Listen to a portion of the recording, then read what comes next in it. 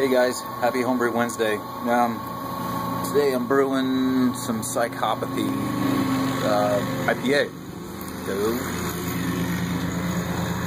uh, Psychopathy Pale Ale, Indian Pale Ale from Mad Brewing Company, Cincinnati, Ohio. They put all their um, recipes on the internet on their website, so it's something I've been wanting to do, but I just one of those things where I kind of forgot, didn't do it, and then I'm like, well, you know. I need to do something. I want some, want something. You need an IPA. I got a black IPA on tap, which is, which is that, which is clear as a stinking bell.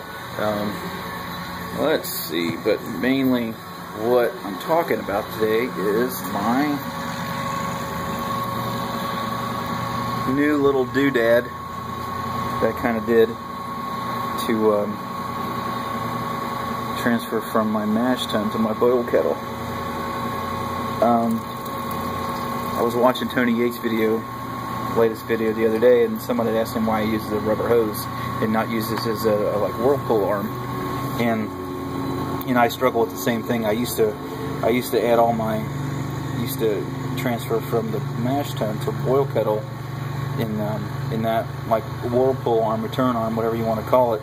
And um, you know, once you get to about four gallon mark, you can't it's basically a contained system, sealed system. You can't see what the hell you're doing, so you don't know what your gravity is. So you can easily get your gravity under under what it should be, 1.01 or 1.008, whatever whatever you guys here believe, work towards, whatever. But anyway, and I've done that a few times, so I kind of sat down and I thought about it. My biggest thing was I always wanted to be able to control my my flow from this point not down at my pump. And initially I had a rubber hose that I ran from my pump up to my boil kettle.